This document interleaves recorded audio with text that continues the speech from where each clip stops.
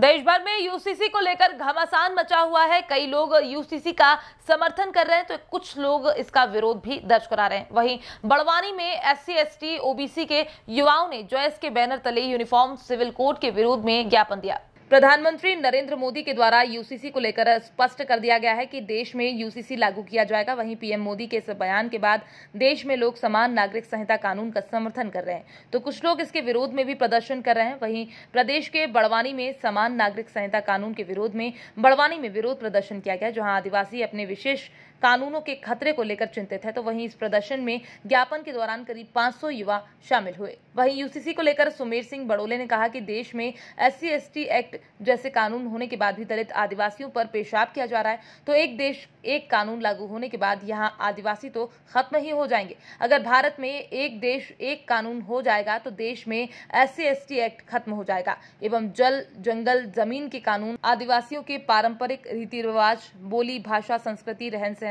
स्वतः ही खत्म हो सकते हैं। भाजपा सरकार की नीति नहीं चलेगी। नहीं चलेगी नहीं चलेगी। संविधान में जो हमारा हक है वो लेके रहेंगे।